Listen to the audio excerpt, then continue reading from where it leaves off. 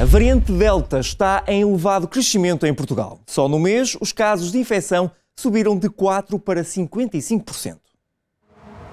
Galopante. Foi desta forma que o Instituto Nacional de Saúde Pública, Dr. Ricardo Jorge, qualificou a aceleração da variante Delta em Portugal. A variante inicialmente associada à Índia apresentou uma forte subida a nível nacional tendo aumentado no espaço de um mês de 4 para 55,6%. Já a mutação Delta Plus tem uma circulação ainda limitada em Portugal. Ainda de acordo com o relatório do Instituto Ricardo Jorge, é possível perceber que todas as outras variantes têm agora menor expressão, embora existam grandes diferenças a nível regional. A distribuição da variante Delta varia entre 3,2% nos Açores e 94,5% no Alentejo. Contudo, e tendo em conta a tendência observada entre maio e junho, é expectável que esta variante se torne dominante em todo o território nacional durante as próximas semanas. Até ao momento, e relativamente ao perfil Delta Plus, cerca de 50% destes casos restringem-se apenas a duas cadeias de transmissão de âmbito local, o que sugere que a sua circulação comunitária é ainda limitada, sendo a frequência relativa na amostragem nacional de junho